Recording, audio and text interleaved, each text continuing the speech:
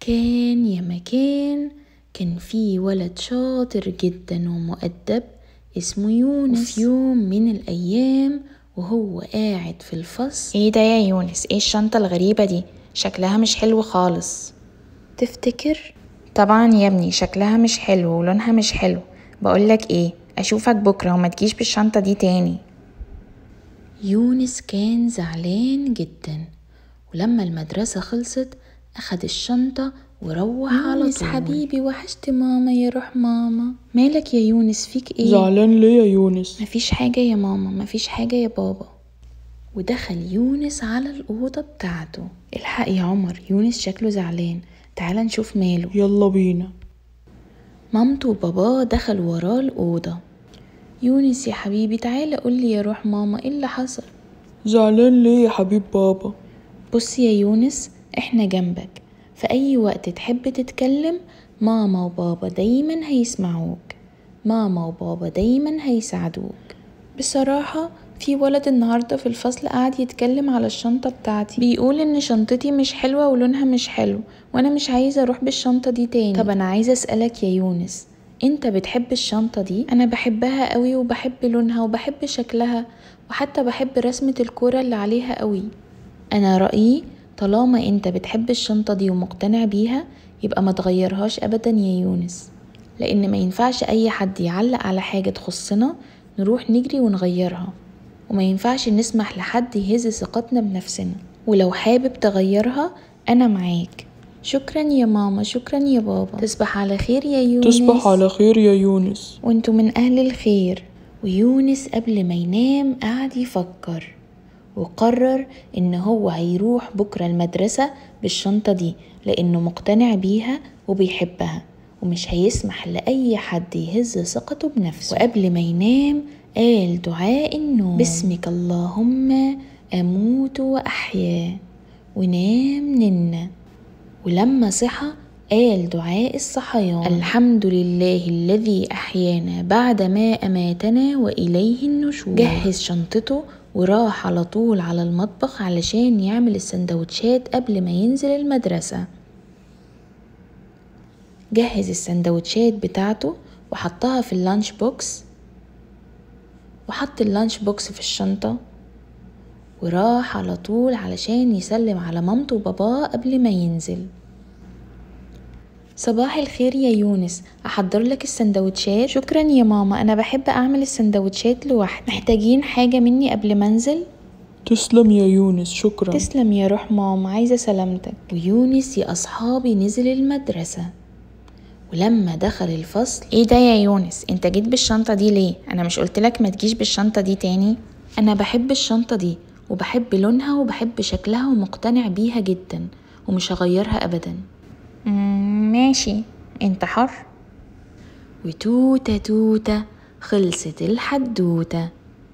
كان يا مكان كان في بنوتة جميلة اسمها صبا. صبا كانت بتحب ألعابها وبتحافظ عليها. كان عندها أخت صغنونة اسمها تيا. وفي يوم من الأيام وهي بتلعب. بألعابها سمعت مامتها بتنادي عليها. حاضر يا ماما أنا جاية. لو سمحت يا صبا ممكن تشتري لي شوية حاجات من السوبر ماركت؟ طبعا ممكن يا ماما. تسلمي يا روح قلب ماما. بقولك إيه يا صبا ممكن تشيلي ألعابك قبل ما تنزلي تحطيها مكانها؟ أنا كده كده هاجي على طول يا ماما وأول لما أجي إن شاء الله هحط كل حاجة مكانها. ماشي يا صبا براحتك. اللي انتي عايزاه. مع السلامة. bye يا ماما. آه أما أروح أغسل المواعين. تعالي يلا يا تيا ادخلي معايا المطبخ. يا تيا وتيا يا أصحابي دخلت أوضة صبا ومسكت ألعاب صبا. قعدت ترسم عليها وتلون عليها وترسم عليها وتلون عليها لحد ما الألعاب اتبهدلت خالص. ولما تيا خلصت خرجت الصالة علشان تستنى صبا. أما صبا يا أصحابي دخلت السوبر ماركت واشترت الطلبات اللي مامتها طلبتها وجابت لتيا بالونة على شكل عشان تقول لها قد إيه هي بتحبها. اتفضلي يا ماما الطلبات أهي. صبا إدت الطلبات لمامتها وإدت البالونة لتيا وتيا كانت طايرة من الفرحة. لما صبا وتيا دخلوا الأوضة صبا اتصدمت. بس على طول. صبا هدت وفكرت بشكل تاني. عارفة يا تيا أنا مش زعلانة منك أبدا لأن الألعاب مسؤوليتي وأنا اللي لعبت بيهم ونزلتهم. والمفروض لما أخلص لعب بالألعاب أحط كل لعبة مكانها. بس عايزة أقولك حاجة يا تيا إحنا بنلون في الورقة مش بنلون على الحيطة ومش بنلون على الأرض ومش بنلون على الألعاب. تعالي يلا يا تيا نحاول ننظف الألعاب دي. تيا كانت حاسة بالحب. وفعلا قعدوا ينظفوا الألعاب سوا. شايفة يا تيا؟ الحصان كأنه جديد والدبدوب كمان. مفيش حاجة في الدنيا مستاهلة إن إحنا نزعل من بعض ابدا. أنا بحبك قوي يا تيا. أنتي أختي ومهما عملتي أنا بحبك. من هنا ورايح لما أخلص لعب بالألعاب هحط كل لعبة مكانها.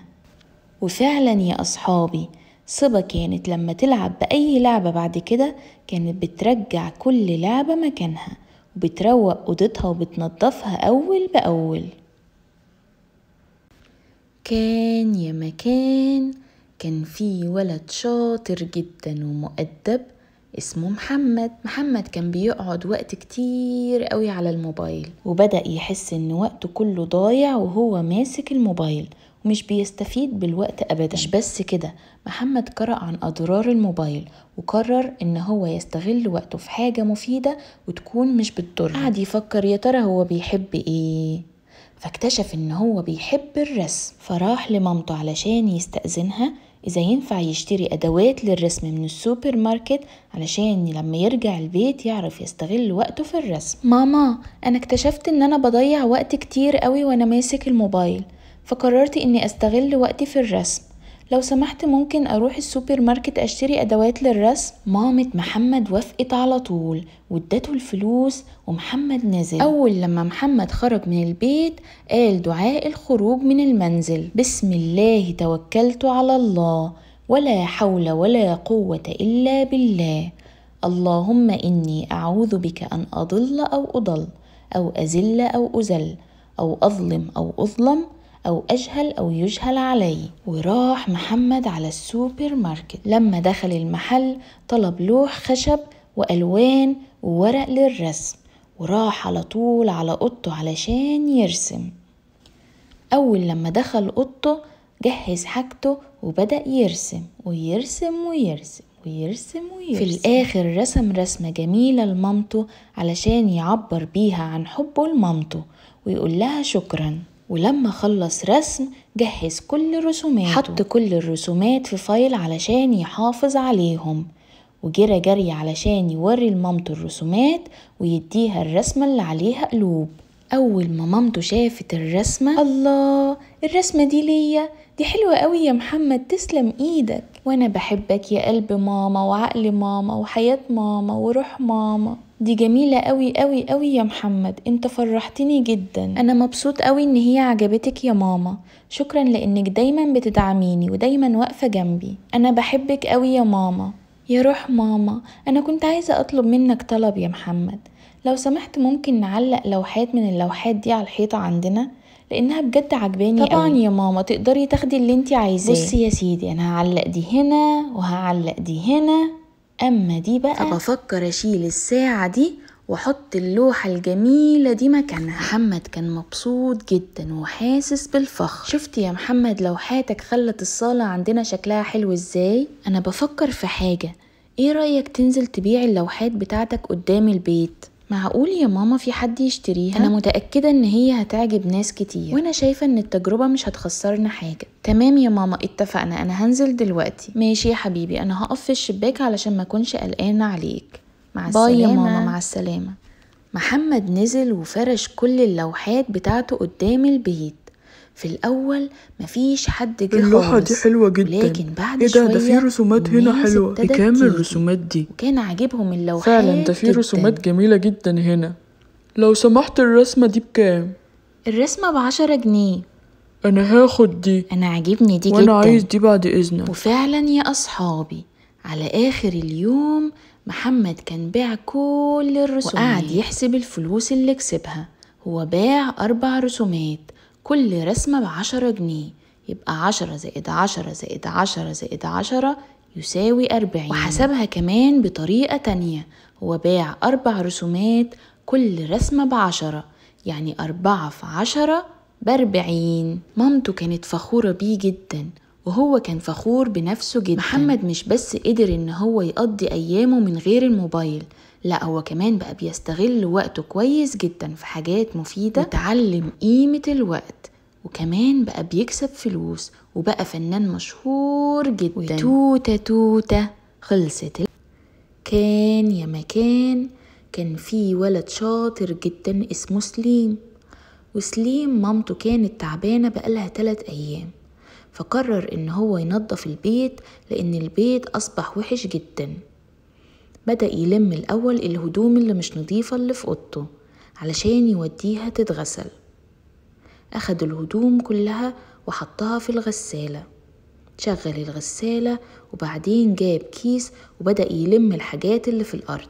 لم كل حاجة في الأرض وحطها في الكيس وراح علشان يرميها في ال basket.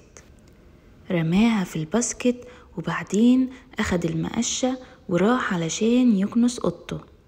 كنس الأوضة كويس جدا وبعدين جاب المساحة وبدأ يمسح الأوضة. مسح الأوضة ونضفها كويس جدا. يا سلام الأوضة بقت نظيفة والله يا سليم. خرج الصالة. كان في غسيل كتير قوي على الكنبة. بدأ يطبق كل الغسيل.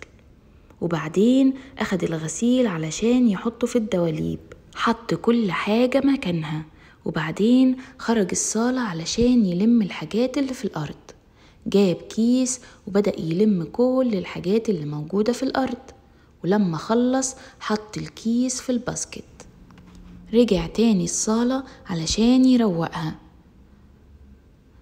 خرج الصالة وبدأ يحط الجزم مكانها والحاجات كلها في مكانها. وبعدين جاب المقشة. وقعد يكنس هنا ويكنس وجاب المساحة وقعد يمسح هنا ويمسح هنا وخلى الصالة زي الفل. تسلم إيدك والله يا سليم. دخل المطبخ وجاب كيس وقعد يلم الحاجات اللي كان فيه تفاحتين هو أكلهم بالليل وسابهم على الترابيزة. فقعد يقول ياه يا ريتني كنت حطيتهم على طول في ال basket بدل ما هم طول الليل كانوا هنا. إن شاء الله المرة الجاية مش هسيب التفاح كده ابدا وأول ما أخلصه هرميه على طول في ال basket. رمى كل حاجة في ال basket وبعدين قعد يروق المطبخ. نظف الأرض ونظف الترابيزة وبعدين غسل المواعين. وكان تعب جدا ولكن الغسيل كان خلص. فأخد الغسيل علشان يروح ينشره. نشر كل الغسيل. وبعدين أخد الزبالة اللي هو جمعها النهاردة ونزل علشان يرميها في ال basket اللي في الشارع. حط كل الزبالة في ال basket وبعدين دخل السوبر ماركت علشان يشتري طلبات البيت. جاب طلبات البيت وحط كل حاجة مكانها. وبعدين افتكر الحمام. الحمام كان مش نضيف خالص فدخل علشان يشوف إذا كان هيقدر ينظف الحمام ولا لأ. سليم كان تعبان جدا. الحمام كان محتاج مجهود كبير قوي وسليم ما كانش قادر. فقرر إن هو مش هيعمل الحمام النهاردة لأن صحته أهم من أي حاجة. وقال إن شاء الله بكرة أول لما أصحى هنضف الحمام. واستغرب جدا إزاي مامته بتعمل كل ده كل يوم وقرر إن هو هيساعد مامته كل يوم علشان المجهود ده كتير قوي قوي على مامته. بعدين قال أنا عايز أعمل لماما عصير. فخرج علشان يروح يعمل لمامته عصير ليمون. كان تعبان جدا ولكن وقف وعمل العصير وجاب الخلاط وعصر الليمون وجهز العصير بشكل جميل وراح لمامته علشان يفرحها. مامته لما شافته جايب لها عصير شكرته جدا وقالت له يا سليم أنت تعبت نفسك قوي قال لها يا ماما أنا مش بس عملت العصير أنا كمان نظفت كل البيت نظفت أوضتي ونظفت الصالة وغسلت المواعين كنست ومسحت وغسلت الهدوم ونشرت الغسيل وجبت طلبات البيت ورميت الزبالة. وانتي بصراحة يا ماما بتتعبي قوي قوي وإن شاء الله هساعدك كل يوم. لأن إحنا عيلة بنحب بعض وبنساعد بعض. مامته قعدت تدعيله ربنا يحفظك يا سليم ويبارك فيك ويخليك ليا. وبعد يومين يا أصحابي مامته بقت كويسة ولما شافت البيت انبهرت وقالت له جزاك الله خيرا يا سليم. وتوتة توتة خلصت الحدوتة. عن أبي هريرة رضي الله عنه قال جاء رجل إلى رسول الله صلى الله عليه وسلم فقال يا رسول الله من أحق الناس بحسن صحابتي؟ قال أمك. قال ثم من؟ قال أمك. قال ثم من؟ قال أمك. قال ثم من؟ قال ثم أبوك. كان يا مكان كان في ولدين أخوات اسمهم علي وعمر. النهاردة عيد الأضحى. أول لما صحيوا من النوم علي قال لعمر كل سنة وانت طيب يا عمر. يلا بينا نعمل اللي اتفقنا عليه امبارح. وانت طيب وبخير يا علي. يلا نروح لماما نعيد عليها وناخد العيدية.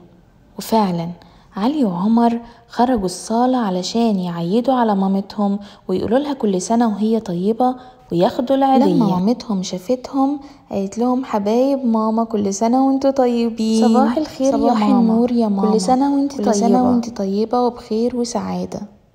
وأنتوا طيبين يا روح قلب ماما. اتفضلوا العيدية بتاعتكم أهي وخلوا بالكم على نفسكم.